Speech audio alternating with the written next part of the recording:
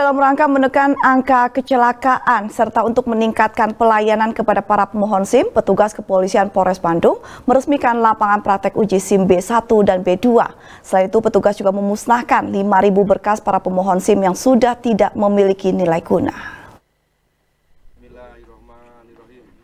Selasa pagi, petugas kepolisian Polres Bandung meresmikan lapangan praktek uji SIM jenis B1 dan B2 yang berada di halaman belakang Mapores Bandung. Kegiatan tersebut dilaksanakan dengan tujuan untuk meningkatkan pelayanan kepada para pemohon SIM, khususnya SIM jenis B1 dan B2. Selain itu, dengan adanya lapangan ini, para pengemudi bisa diuji langsung dengan menggunakan kendaraan nyata, tidak menggunakan simulator. Sehingga para pemudi benar-benar tersertifikasi dengan baik untuk mengemudikan kendaraan di jalan raya. Maka dengan demikian, angka kecelakaan menjadi berkurang.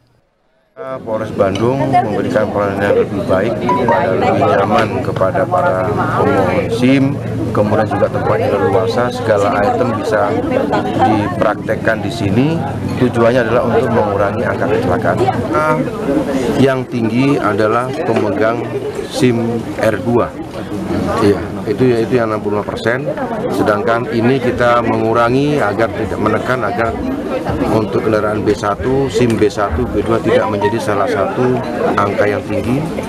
Tidak mau kita adanya laka jol, sehingga kita membuat tempat uh, praktek SIM B1, B2. Petugas kepolisian juga memusnahkan 5.000 berkas para pemohon SIM yang sudah tidak memiliki nilai guna dan sudah menumpuk di gedung pemohon SIM selama kurun waktu lima tahun ke belakang.